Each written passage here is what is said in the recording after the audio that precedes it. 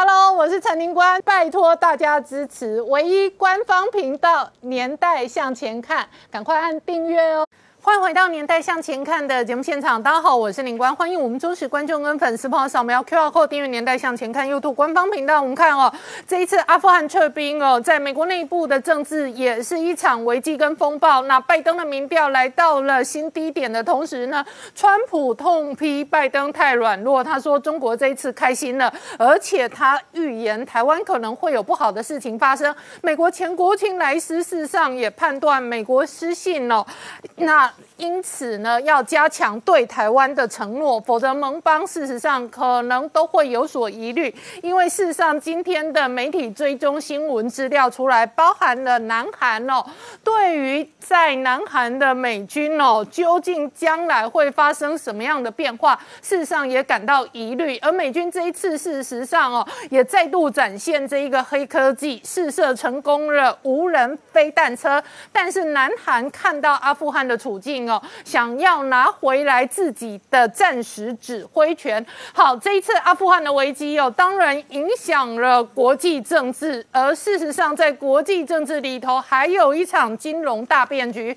北京事实上接二连三的追杀中概股之后，第一大受灾户是软体银行孙正义，账上哦至少哦因此哦受到影响是几千亿。那对此呢，他事实上也大砍了台积电 ADR。然而。习近平一宣示中国的高收入者要回报社会之后，腾讯很上道，立刻响应捐钱，捐了高达两千一百五十亿的平安险。而这背后会带来什么样的政治、军事、经济的变化？我们待会要好好聊聊。好，今天现场有请到六位特别来宾，第一个好朋友是透视中国研究员，同时是台大政治系荣教授明居正老师。大家好。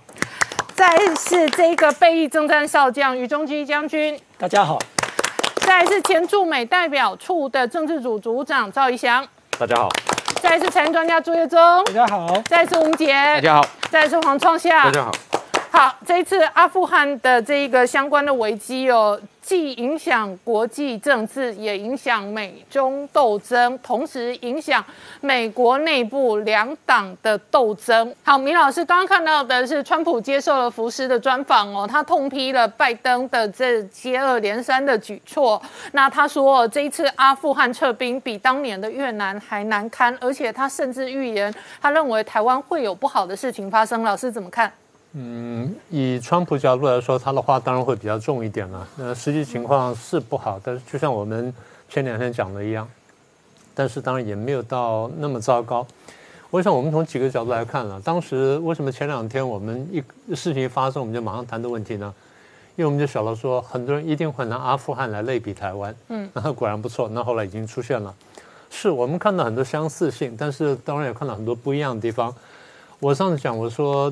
其实一个国家呢，打仗这不是问题，出兵很容易。问题是怎么撤军啊，在什么情况下撤军？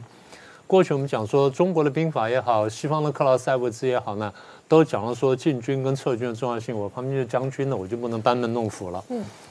那简单说就是，你不管怎么样，你撤军撤成这样子呢，即便你再有什么理由，你的国际第一强国形象是一定大受打击的。所以你前面有个标题讲得非常好啊。拜登误判阿富汗形势，那不管说底下的人怎么报告他，怎么出错，但是你自己有一个正确的判断。而且我们常讲说，退兵退进兵不不难，你打赢了这个随便你怎么样弄，大家都觉得说你打赢了。但是如果说你打输的情况下，或者说在没有很明显胜利情况下，你要撤军的话，怎么样维持你的形象，这个非常重要。那这点呢，不但说这个朋友看在眼里面会担心，等下大概大家都会谈到。另外，就敌人看在眼里面会有一个判断，所以上次我说，你美国这样撤兵呢，人家不管朋友也好，敌人好呢，从信心跟认知上看你美国呢，会有一个不同的看法。不过在讲完这个之后，我还得提醒大家一下，美国的有一个自我辩护是对的啊，请大家注意啊，他他他所说的事情就是，我不只是从阿富汗撤军，是为什么要撤军呢？因为对我来说，它不是一个重大利益区了。所以美国说的是，我其实在进行战略转移。我转移来干什么？我准备对付中共。他底下那句话没说，但你如果把他最近的言行连接在一起，你晓得他在干这些事情。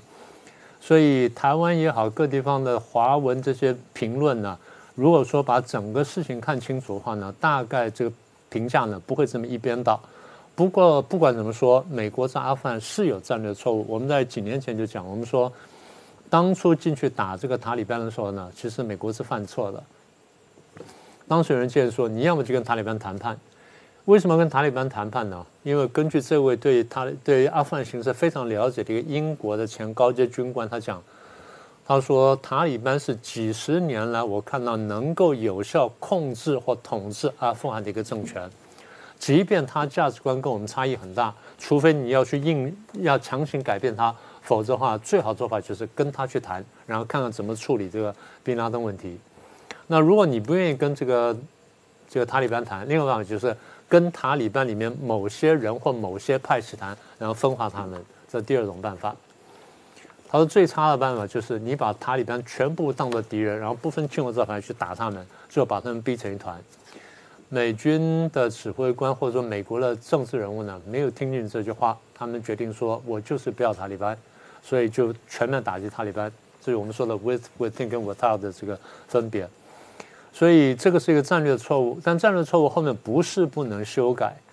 呃，布林肯说我们早就该撤，是你早就该撤。我上次讲讲说，你要么就十年前你杀了宾拉登时就撤，那时候撤人家不会讲你什么东西。今天你要撤，人家觉得说你为德不足。所以撤军的这个呃手法啦，跟时机各种考量呢，要很仔细。那第二个问题就是阿富汗政府为什么守不住？美国说啊，我这边进了搞了二十年仁至义尽，是一点都不错。我们研究国际政治，常常注意到研究个别国家，我们常会看一个问题：这个国家的地形啊，跟它的经济啊，跟它这个跟邻国的关系。我特别讲阿富汗，阿富汗是个内陆国家，然后地形呢非常山地非常多，崎岖不平，大概百分之八十左右呢都是山地。所以老百姓住在什么地方呢？住在山跟山之间的峡谷地带。那换句话说，人呢之间是隔绝的，它很难有很大的这个都市或很难的这很难有有交通，所以导致说呢，它部族非常繁多，然后语言呢相对又比较混乱，然后呢宗教呢这是唯一能够维系的这个一个力量了。所以这么多年来，我们常讲的帝国坟场，为什么？你外国比较进步的军队进去的地方呢，你等于就是不断的跟每一个部族去打游击，非常辛苦的。所以过去的英国在十九世纪呢，连续这个铩羽三次。苏联在一九七八年进去之后，一九八零年代呢必须要退出来，然后美国进去搞二十年，现在必须退出，会退出来。简单说呢，跟它交通不便呢有非常密切的关系。啊，这第一点。第二点呢，不管你喜不喜欢塔利班，他的价值观可能跟我们差异很大。但是呢，他对这个社会这批人，他有动员力量。第一个是宗教，在那个社会里面，宗教是这个地位是非常高的，各位可以看到。第二点呢，他用暴力。第三呢，他贩毒。所以他这几个条件在一起呢，你外国进去打呢，你要把它彻底清楚呢，真的不容易。这就为什么当初我刚刚讲说，当初呢，英国高阶军官呢提醒美国，就说你不要这样去打，因为这样打不聪明。就美国没有听到话。那么塔利班另外一个条件就是，他曾经统治过阿富汗四年，那五年的时间。那不管说他统治的好跟不好，我刚说了，他至少是一个有能力大体控制这个社会的一个政权。那你怎么去跟他打交道？你得好好想清楚。对，美国扶植了一个他认为可靠的人，因为这个人在美国读过书，然后在这个国外教过书。美国认为说他的价值观跟我们很接近，是没有错。一个价值观跟你接近，你可以相信。问题是，你如果摆到那个地方去，他是不是有能力能够有效的控制这社会？不要说是这个推进民主政治，是不是能够有效控制这社会呢？是我们政治学常常问的问题。我们现在看到，就是美国扶持这甘尼呢，搞了这么长时间，在一个问题上是严重失败的，在于跟塔利班争夺人心的问题上，他是彻底失败了。所以你看到白天老百姓可能帮他，然后到晚上呢，基本上塔利班就来了，他一点办法都没有。那么这种就使得说，你要么就进去强力殖民，然后把这个你不顺眼人全部杀掉，然后你强力再去移民再怎么样，否则你美国就很早就应该有比较清楚的战略啊。这第三个部分，第四个部分就是，我们就强调我们说美国这样撤军呢会导致一个结果。中共会低估美国或看扁美国，因为低估美国、看扁美国，中共会生出前所未有的野心，而中共的野心呢，是最后是针对美国，但在针对美国以前，他会先针对台湾，他会认真考虑呢，我怎么样动手或能不能动手，现在是不是动手的好时机，我去对付台湾，这点呢，川普看到了，所以川普也出来讲了，我们等会再说这个事儿。他的意思就是说，你美国干的事儿干得这么漏气，那么台湾可能会发生不好的事情。这话非常准确，直接讲到点上面。所以我上次讲，我说美国如果要搬回来的话，那美国呢对台湾呢在语言上跟在行动上都必须要提出强力保证。这是我前天讲的事情。所以这件事情对台湾来说呢，坦白说，你仔细想想是祸福相依的。好，那么美国为了补破网呢？国家安全顾问的苏立文苏立文出来讲的话，他辩护了半天，然后说警告塔利班你们自律，否则我们还手等等。但是他有一段话讲的比较精彩。呃，记者问他说：“现在这个阿富汗已经落到这个塔利班手上了，然后很多人觉得被背弃了，阿阿富汗人民觉得被背弃了。那么他说，那这样的话，大家会不会会不会有人担心说，美国会抛弃其他地方人民，譬如说台湾呢？”然后他的回应都不错，他说：“我们相信，我们对盟友和伙伴的承诺是神圣不可侵犯的，而且一直如此。我们相信，我们对台湾和以色列的承诺仍然像以往一样坚定。”嗯，呃，他可以光说台湾，我们对台湾的保证跟承诺是一样，一如及以往的坚定。嗯，他为什么把以色列拿出来，特别值得玩味？好，我们稍后回来。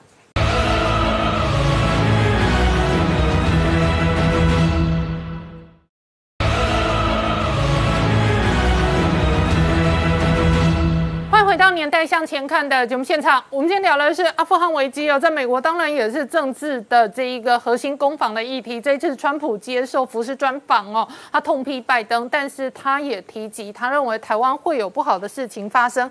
但是第一时间呢，事实上美国的这一个国安团队，包含苏利文，包含 A I T O 都贴了相关的贴文。这里头的内文是讲说，美国对于台湾和以色列的承诺一如既往坚定。明老师为什么把台湾跟以色列放在一块？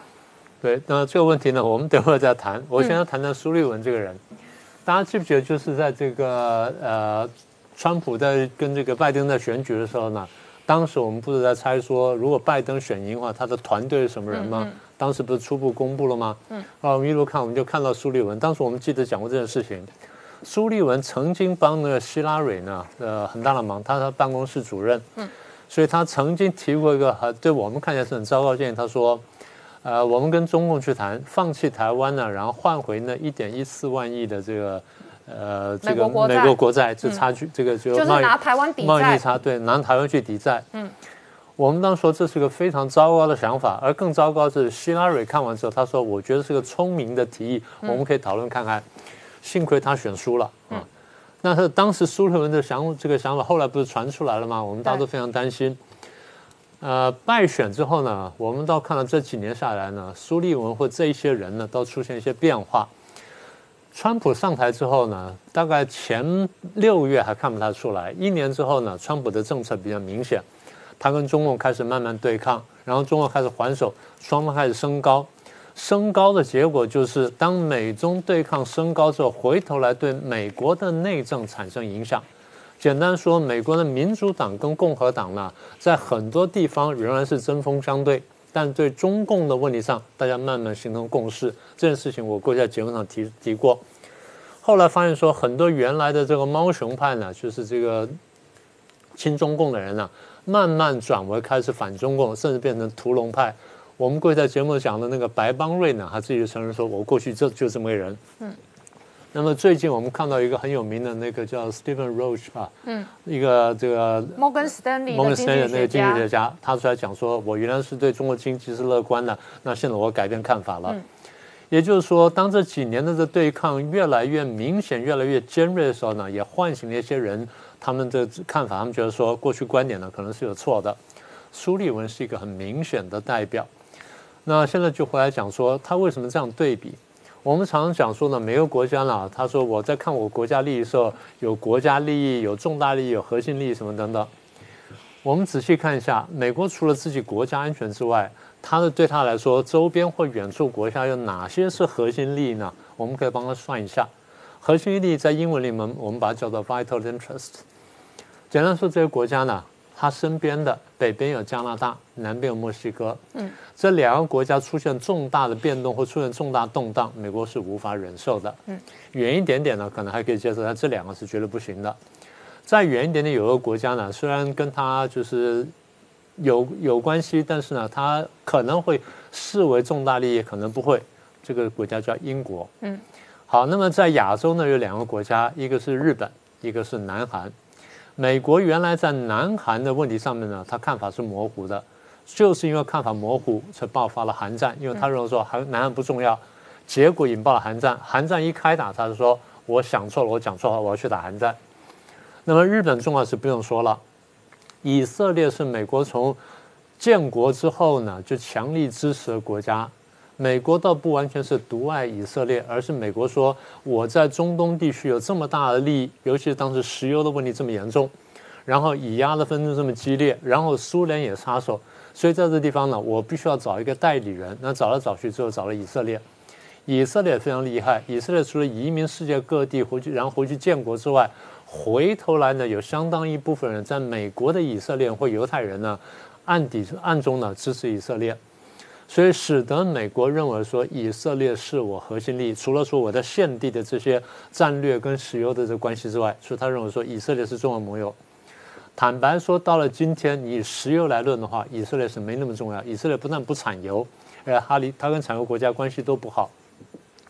美国现在自己有产油，所以严格说没有那么重要。但美国现在觉得说，以色列是我能够安定中东地区的一个重要力量，所以以色列是很重要的。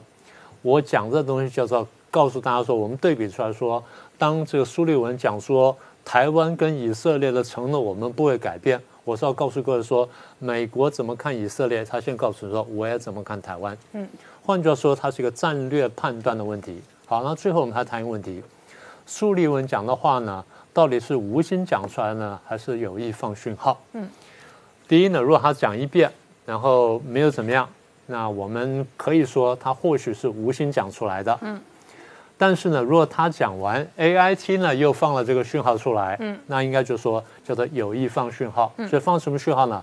因为我们犯了错，所以我现在必须亡羊补牢，怕你们把我看扁，怕你们误判我，然后从而在台海引爆战争。所以现在我要把话讲清楚。我要防止误判，嗯，但是我觉得最后美国需要做一件事情，美国在讲完话之后，必须在世界其他地方或者特别在台海附近呢，要用行动展示我对台湾的承诺，这样子的话呢，才能真正防止中共的误判，防止战争。好，那明杰，可是呢，阿富汗事实上哦，确实冲击全世界，特别这一次，就连南韩内部哦，事实上都想要取回暂时的指挥权。对这个美军从阿富汗撤军这个事情啊，当然会影响整个全球战略格局的一个重新的组合哦。那包含两大部分，第一个，呃，当然就是这一个中东可能会出现所谓的这个地缘政治上面的战略的真空。那第二个部分是最明确的是说，这个美国在。西太平洋加重它的一个兵力哦，整个战略中心转移到西太平洋。那其实这两者之间也可以说是有因果关系啊。应该是说，美国为了对抗中国，把整个军事的中心先转到西太平洋，随后后面才会出现中东的权力真空。那这两个部分，我先来谈中东所谓的这一个权力真空的部分。我们看到这几天哦，这个习近平动作非常多哦。那这两天还这个跟伊朗的新任的总统莱西哦通电话。那特别还强调说，要他会支持这个伊朗上，呃，跟美国过去，呃，特别是川普总统任内有争议的这个这个核协议的问题。那同时，他也针对所谓的这个呃美国的病毒溯源哈这样的要追溯责任的这个事件，那支持中国哦，他说这反对个别国家在追溯病毒上面啊来打压中国。那从这个部分可以看得出来，当然是借这个机会哦，那中国跟。这个伊朗之间在强化所谓的关系。那第二个，那他这个习近平也跟伊拉克的这个总统巴尔哈姆哦通电话。那还有包含像更早之前，我们看到。塔利班还没有拿下这一个阿富汗的首都科布尔之前，他的这个政治领导人哦巴拉达尔就已经先飞到这个中国的天津，七月二十八号跟王毅会面。那那时候也向这个王毅保证说，不会去支持所谓的这个东土耳其斯坦伊斯兰党这样的一个可能会涉及新疆这个独立问题的啊这样的一个极端主义的这个呃这相关的一个合作。那这个部分啊，我们可以看得出来，习近平跟北京这相关的动作都是在尝试啊。要这个填补哦，这个美国这个抽离这个重兵，然后在中东出现的战略上面的一个真空。不过这是他的一个目标跟希望，能不能达成，我觉得还有很多的高度的风险跟阻碍哦。那特别是他这次，你看他跟这个伊朗，跟这个。伊拉克跟这个塔利班哦，阿富汗新的政权，然后甚至巴基斯坦，这些全部都是中东的国家哦。他想要用一个新的强权的姿态在中东出现，主要目的就是要用取代美国的方式，然后填补这个真空。但是我刚刚讲到说，中间阻碍非常多，包含像对阿富汗，他是不是能够塔利班能够做到所谓的这个承诺，我觉得是非常困难啊。因为我们看到塔利班政府目前来讲，他首要。当然是获得国际各国的承认，最好是中国、俄罗斯，那连美国这些大国都承认，他先站稳住脚啊。那但是他真正实质上他的一个国家的治理能力，其实外界都非常的一个呃质疑。那更重要就是说，他有可能说为了。哦，中国可能中国能够为他带出什么样的利益，目前都还看不到。但是为了中国，他可以放弃他信仰已经两三百年的这个伊斯兰极端主义的一个教义，特别是宗教上面的信仰，我觉得这是非常困难啊。那除此之外，其中国对塔利班有没有提防？当然也是有所提防，因为先先前这一个呃塔利班开始攻克阿富汗各大城的过程中哦，我们看到其实。解放军跟这个俄罗斯，其实先前我们谈到，他在这个宁夏哦进行了一个联合军演，这个地方哦其实离等于说中国接壤阿富汗哈有一个这个。这个瓦罕走廊哦，其实中间大概都有八十公尺的距离哦。那时候其实哦，中国还在这个边界有布防重兵，目的是什么？其实他也担心哦，塔利班的势力有没有可能进一步扩张渗透进入新疆？所以双方其实是没有共同的一个互信哦。那非常多的一个条件，基本上来讲，未来到底双方会成为盟友，还是中国其实也担心对塔利班太好会养虎为患，影响到他自己内部的维稳问题？其实有非常多的猜忌哦。那这个部分，中东的一个。战略这个真空是不是中国能够顺利填补？我觉得还是。有非常值得观察的一个地方。第二个明确的部分是说，美国在西太平洋加大它的一个兵力调遣，跟重心整个转移到印太地区，特别是台海地区的安全这部分，目前来讲是明确的，而且正在进行啊。那当然，因为这一次美军从阿富汗撤离之后，有非常多国际上面不同的声音，连美国国内也有不同的质疑哦。那当然最重要的，它现在目前来讲，当然是先哦要降低，就是这次事件上面可能美国对盟。盟邦之间可能会造成的一个负面影响，所以公开的承诺一定会先做。公开承诺，刚刚明老师讲了很多，那包含像国安顾问苏立文提出，呃，再一次说强坚强对台哦，甚至以色列、南韩这些的保证哦，这几天都陆续出笼。那讲到南韩的部分，其实南韩部分跟台湾其实也是不太一样，但是非常有意思的就是说，你看到台湾这几天哦，非常愤慨，觉得说有人把台湾拿作跟。阿富汗来做比拟哦，非常的不恰当，不是不伦不类。那南韩的这个执政党哦，也就是共同民主党的党魁宋永吉哦，其实也有类似的观点，他也认为美国有媒体把南韩也比喻做阿富汗，他也认为是一个严重的侮辱。那特别强调说。他认为南韩自己的军力哦，甚至现在都获得美军的 F 三十五战机有最最新锐的一个战力哦。那军力世界排名第六，怎么可以拿来跟所谓的阿富汗政府军去比拟哦？不过最重要的是说，他提出一个非常重要的关键哦，就借这个机会，其实各国也都在向美国要东西哦。那因为过去川普任内，其实也一度扬言说要从南韩撤兵。那呃，甚至要把这个萨德系统都撤出南韩，那要求说南韩要增加负担军费，甚至提高到五十亿的美金每年啊，这样的方式。那这一次等于说南韩也借这个机会，要向美方要回所谓的战时指挥权。那这个其实就是驻军的一体两面哦。那当然过去台湾有人也支持说美国来台驻军，但我们看到南韩其实驻军是不是真的有利于防卫？当然。外在的环境上面有利于贺主北韩的一个对南韩的威胁，但实际上真正战时的时候，南韩的军队跟美军的一个协防司令部之间呢，有可能因为指挥权的争议哦，那这个部分。你只要军权大握还是在美国手上，南韩自己本身就会认为它不是一个完全能够独立自主的一个这个国家哦，所以这个部分你可以看到，有些地方台湾未来也是可以参考哦。那除此之外，还有包含像其实风菲律宾也是一个重要的风向球哦。你看到先前菲律宾总统杜特地一度因为疫情和各方面“一带一路”的投资。倒向北京哦，那其实最近很明显的，它又倒向美国哦，那所以这个已经中断的这个两年之久，二零一九年之后，本来它都不准美军的军舰直接这个开到菲律宾访问，那这几天八月十六号，美军一艘这一个呃查尔斯号 LCS 滨海作战舰又访问菲律宾，那同时先前等于说有一项这个 VA。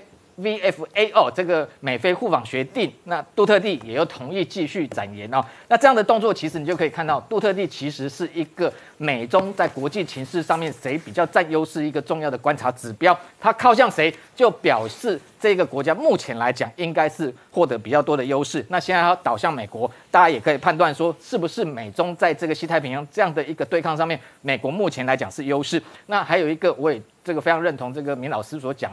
美国对台有再多的公开安全保证，都是口头上啊，具体的行动必须要展现出来。那么观察，当然过去从川普到拜登对台军售其实已经十几次，他花了很多钱，也买很多武器。现在最重要是自己要能够把它拿来训练战备，形成战力，这个有很多的工作要做。那第二个，我觉得必须要强调，就是说借这个机会，我希望美方哦也要能够真的加大对台的军事合作，特别是台。这个参与国际的联合军演，包含像这个参与这一个 RIMPAC 军演也好，或者到关岛军演也好，这个也是一个重要指标。因为今天虽然中国对台采取切香肠战术，那美方也用切香肠战术去回应北京，但双方一来一往，基本上还是没有办法遏制中国向外的扩张，特别是并吞台湾的企图。我觉得美国只有展现具体的行动，才能够真正遏制中国对台入侵的企图。好，我们稍后回来。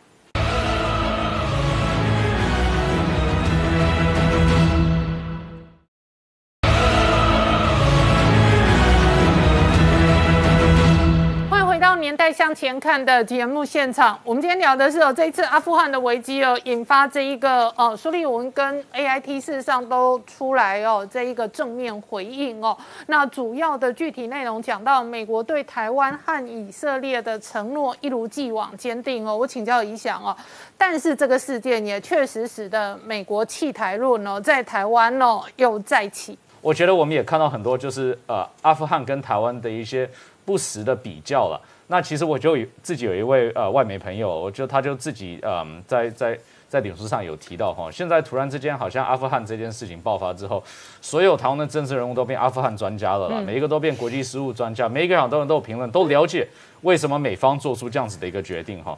那我想这个东当当中就会产生到很多不实的一些资讯啊。那我觉得我们还是要清楚客观的看到一件事情，就是什么，台湾的经济是阿富汗的三十八倍大小。我们是位于亚太呃地区最核心的跟最中央的一个位置，我们也是区域民族的典范。我想这些现象都已经被这个美国、被其他的这理念相近国家来认同，呃，甚至于来表扬。那所以我们的跟阿富汗的战略地位就已经完全不同了。那所以人家其实偏偏要把我们连接到以色列这样子的一个战略地位，但是我们却自己有一些人不断做小自己，哈，说自己是阿富汗，不是以色列了。那我想这样的说法对台湾没有帮助了。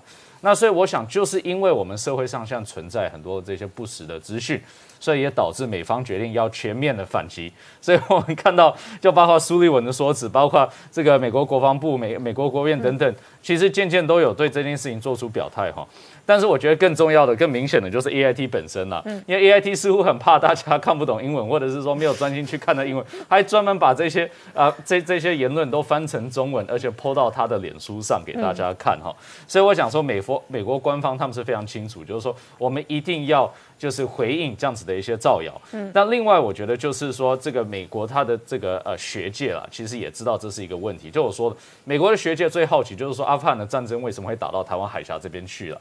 所以其实包括很多就是美国学界的一些朋友，都都觉得蛮莫名其妙的哈。然后包括就是在台湾可能比较出名的就是葛拉伊，之前是在 CSIS，然后现在是在德国马歇尔基金会，当然这个亚洲计划主任，那他就提到说，哎。台湾跟阿富汗的状况截然不同啊！台美关系是深厚而且有历史渊源的，包括在经贸、人呃人民的连结方面，台湾是一个蓬勃的民族政体，与台湾共享相同的价值。那包括美国的智库二零四九，二零四九为什么特别呢？因为二零四九现在呃的那个主席哈，就是之前那个美国在国防部担任印太司令部呃助理部长啊的 Randy Shriver 哈，那他们就有提到说，哎，阿富汗确实在美国外交上是一个灾难。但是换句话说，从一个理性的角度来看，哎，美国撤军阿富汗，把资源放在亚太地区，这是不是对台湾有利的？那确实是有嘛。那还有这个 A I T 的前处长就有提到哈，说哎，美国对台湾的立场，其实大部分其实是是已经非常清楚，尤其在拜登政府之下哈，他对于台湾无论是经贸，无论是呃军事等等，其实都台对台湾是非常非常清楚的。那如果今天台湾遭受到攻击的话，我想，其实会对于美国、对日本其他这些重要国家的自身利益构成威胁嘛？那最后还有像呃这个新美国安全中心，那这其实是跟这个拜登政府跟民主党是比较接近的一个一个美国智库哈。然后他就有提到说，如果就是今天阿富汗，当然它陷入危机的话，会变成一个持续性的问题，甚至于可能会导致这个美国分心哈。可是其中其中拜登要撤出阿富汗的原因，就是为了。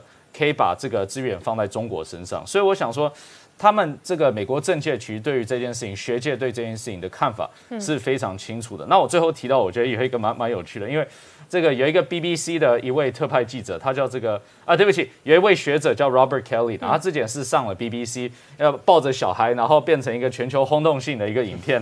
但是啊，他他就有提到哈，说台湾其实就对美国是一个核心利益了，是一个核心利益，而且美国呃呃，台湾对于美国来说真的是相等于以色列，不是等于阿富汗。阿富汗对于美国来说，相对是比较没有这个利益存在的。嗯，所以我觉得我们国内其实应该还是要很理性看待阿富汗这个状况了。然后我其实昨天自己就有就有投稿这个外交啊加杂志，那这个是位于美国，然后这日本的一个杂志社，那我就有提到说，我们希望以理性的角度来分析阿富汗的。经验可以带给台湾什么？那所以包括这个孔杰荣，包括葛莱伊都有来转推这篇文章。那我其实很快很快，简单说的就是说，第一点，台湾应该在盟友建立更扎实的一个民意基础。我们都知道，军事这部分一定是牵涉到民意的。所以我们看到阿富汗的部分，其实当时美国已经没有民意支撑说他继续在阿富汗驻军了。所以这是为什么共和党、民主党其实都是支持这样子的一个撤军的一个战略。那另外，其实就是第二点很重要，就是台湾必须展现自我防卫的决心，这是当时阿富汗没有的。那最后呢，我就提到说，台湾其实有义务提升自己的战略价值。嗯，我们台湾站在民族价值的最前线，也是世界不可或缺的这个经济重镇。嗯，所以其实这都是我们继续要强调的。然后我们绝对不能变成世界的孤儿，也不能陷入这个两岸的框框架。好，那于将军，另外一方面，美军事实上是一直希望强化台湾内部的国军的这一个军事跟自我保卫的能力。中共呃，在西南海域哦。呃，这个昨天的这个军演啊，它最主要也就是要凸显我们，呃，它从如果我们从第一岛链跟第二岛链来看，我们上个礼拜有提到，嗯，现在在这个东北海域啊，就是说在宫古跟石垣这一块，因为美军跟日本加强防防御之后呢，这个变成是马奇诺防线。中共啊，它二零一六、二零一七在这个地方的演练，那现在发现美美日的这个呃这个呃军事部署。啊，它未来很难突穿，嗯，所以呢，二零一八之后，它改方向到希望从巴士海峡去做突破，所以我们可以看到为什么它呃一直在这一个呃区域里头不断的啊演练，但当然美日啊还有这个澳洲还有台湾本身呢，未来在巴士海峡这一块啊也一定会强化我们所有的反潜，或者是说全力的去阻止啊中共从这边突破，嗯，那我们也看到就是说，其实除了这个。啊，宫古还有这个巴士海峡之外，另外从那个中国啊，为什么这么强调啊这个南海内海化？因为他也发现第三条通道就是透过印尼的这个呃巽他海峡跟农牧海峡，嗯，它可以穿越哪里？穿越所罗门群岛到吉里巴斯，嗯，这个就可以突突穿呐第一岛链跟第二岛链的封锁，进入到第三岛链，也就是直接啊这个啊压迫到呃夏威夷。甚至是美国的西岸，所以呢，美国看到中共的这个战略，呃呃，这个呃扩充的这个野心呐，事实上啊，这个呃已经非常的明显啊，所以我们也可以看到，就是说，呃，为什么是呃所罗门跟啊呃吉里巴斯，中共你看看他的王毅外长跟这个呃呃吉里巴斯建交之后，花大钱建交之后，马上就要盖啊军用机场，嗯啊。那另外跟所罗门，他还密签订了秘密协定了，他表面上是说要扩充渔港，事实上就是军港。嗯，那这个就是说，他已经在为他第三岛链的这个突穿啊，在预做军事准备。那美国的话，他也了解啊，所以我们看到就是说，近期这个呃，伯里的总统啊，跟那个奥斯汀美国国防部长在美国碰面了。那他提出的就是欢迎美军呐，在这个伯柳啊，这个辟建啊美军的军事基地。那这个就是啊，如果我们看美国啊，他为什么需要在伯琉辟建新的基地？嗯，那未来不排除在关岛，因为关岛再下来就伯柳，它旁边就是马绍尔群岛，那上方就是这个密克尼西亚这个群岛，未来美军都会逐步的去建制啊，它的这个啊军用基地。这个事实上。就是呃，大家所说的所谓的这个 lily pad strategy 睡莲啊战略，那它的原理很简单，是从青蛙想要在湖面上去啊这个攻击这个啊猎物，嗯啊蜻蜓，那它会透过湖面上的这个荷叶啊，然后不规则的跳跃，然后啊直到它啊这个获取这个啊猎猎物。如果我们看到那个美国海军陆战队的网页。他提出来的 EB 啊，EABO 就所谓前呃远征前进啊这个基地作战，事实上就是所谓的睡莲啊这个战略。嗯，那未来美军的海军陆战队，他会在今年啊这这个月，他举行了这个最大规模两二点五万的啊这个呃 E EABO 的这个演练，事实上就是啊要落实啊睡莲战略的这种啊这个这个啊针对啊中共可能的反介入。啊的供给而设计出来的啊一种啊反制战略。好，我们稍后回来。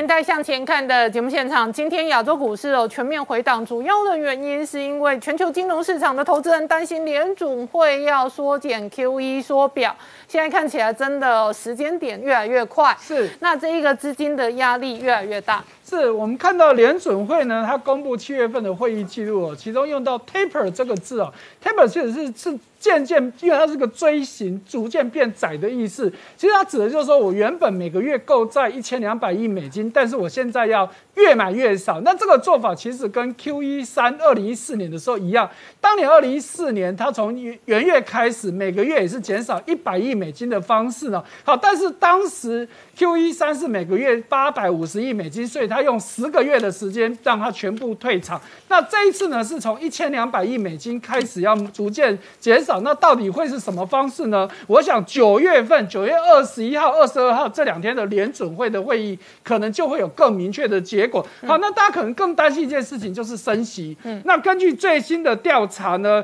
预原本联准会都跟我们说，二零二三年会升息，但是呢，就现在利率。期货市场所的反应告诉我们说，可能预估明年十一月就要升息的几率已经来到百分之五十，那预估十二月升息的几率更已经来到百分之七十哦。所以在这种市场要缩减的压力之下，我们看到今天雅股全面重挫，除了台股之外，我们看到恒生今天跌了二点一三趴，那香港的国企也跌了二点五六趴，就连下午开盘的欧股、德英法都全部重挫超过两趴，大家就知道这个。问题很大，然后再而且恒生跟香港国企都是又要再次测试波段底部哦，随时都一副要破底的样子哦。是，那当然香港的这个大跌，其实又跟中国的这个监管一波比一波还要来的强，有很大的关系哦。所以现在我们可以看到，之前我们也讲过，索罗斯也好，伍德也好，都在说啊，真的中中概股不能碰。现在又多一个跳出来的，谁呢？欧洲最大的避险基金的创办人马歇尔，他也说这个中概哦，真的中概股真的不要碰哦，问题一堆哦。好，那在此同时呢，美国银行对基金经理人做了一个调查，当中呢显示，现在有十一趴的基金经理人跟你说，不止说我要卖中概股，我甚至要放空，而且他们说，现在市场上最大的风险其实就是中国的政策。好，再给大家一个数据哦。MSCI 中国指数是我们在买中国相关基金最重要的指标。这个指标呢，在年初的时候是创二十七年来新高，现在是十六年来新低，你就知道这个有多可怕的下滑了。来，再看到刚讲到伍德女股神伍德哈，最近接受。彭博电视台的讲话又提到说啊，真的，原本大家很期待中国要创新，可是现在的一连串的这个监管工作，根本就是拿石头砸自己的脚嘛。你说要创新，结果这些所谓的创新的这些网通公司一家一家都被你整惨了。所以呢，伍德就说，中国在很长一段时间，他特别强调哦。很长一段时间都会保持低位，换句话说，告诉你，短时间中概股是没办法翻身的。所以呢，它的这个重要的旗旗下的一档基金，这个。创新 ETF 已经完全出空中概股了，那其他的也都大幅的减持。好，那在减持的绝对不会是只有五德而已哦。我们看到这一波呢，真正重伤害的应该是日本的软体银行。嗯，好，软银呢现在公布第二季的财报当中呢，它光一个第二季一共卖掉了。一百四十三亿美金的股票，好，那其中比较重要的其实还是以美国的尖牙股为主哦。其中光脸说它卖掉三十五亿，那亚马逊卖了十二亿，Google 也卖了七亿，好，两网飞卖了四亿，好，那其中台积电也卖了五亿，我们的单位都是美金。你说那怎么没有中概股？有。他卖贝壳找房也卖了十二亿，而且我们刚刚说这是第二季的财报哦，大家也知道中概开始出问题是第三季，所以我们到时候等着看第三季软银还要卖多少中概股。好，我们稍后回来。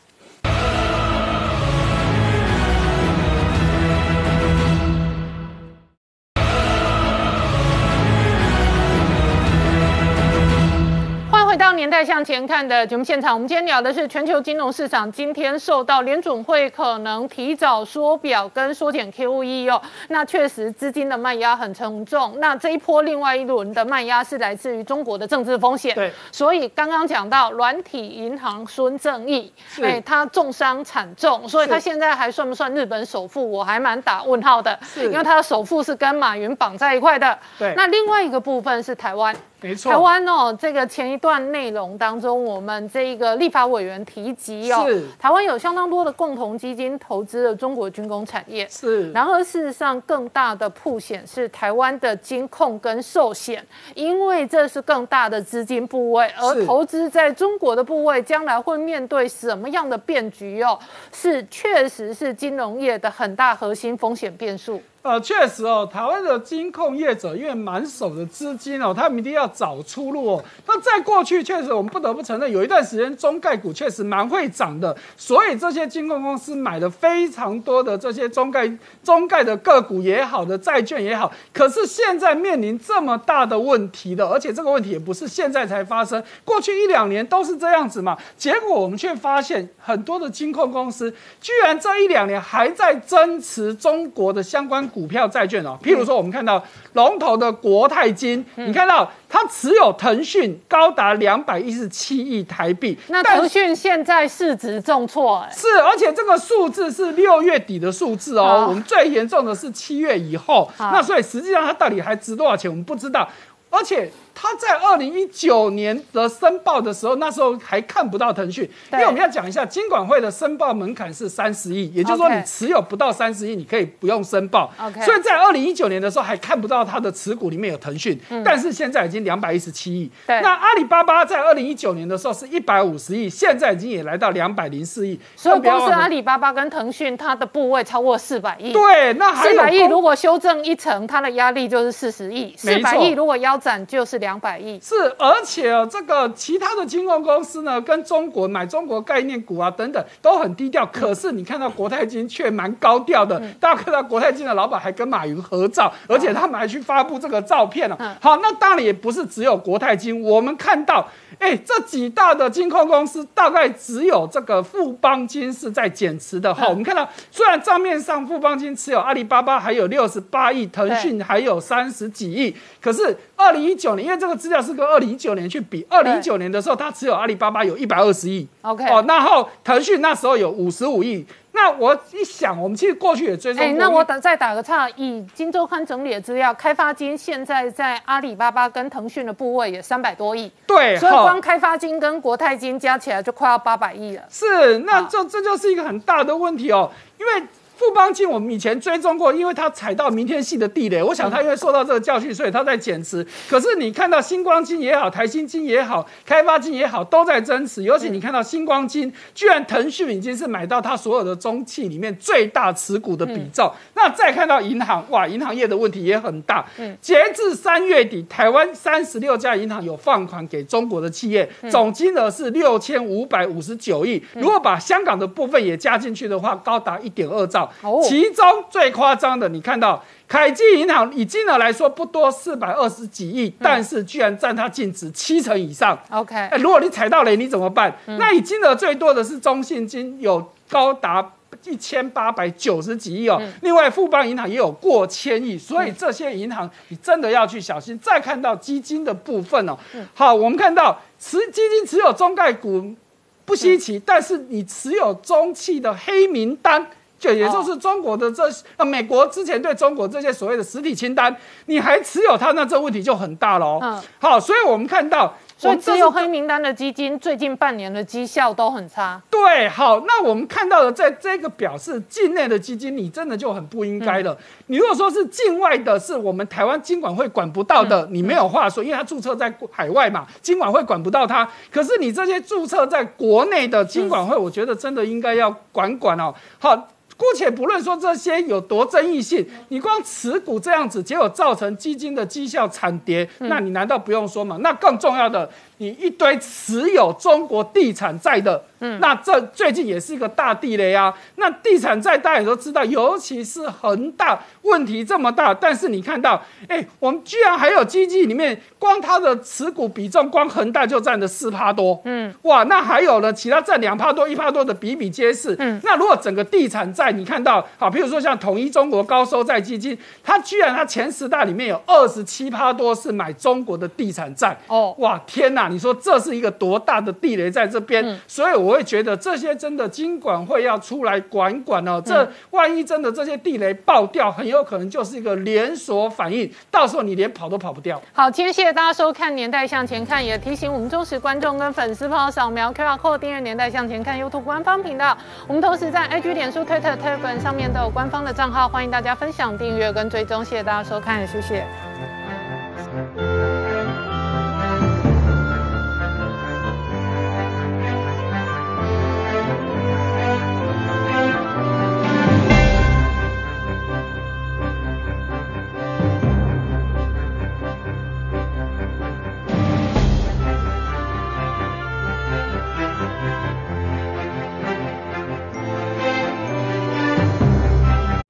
我是陈宁官，拜托大家支持唯一官方频道《年代向前看》，赶快按订阅哦。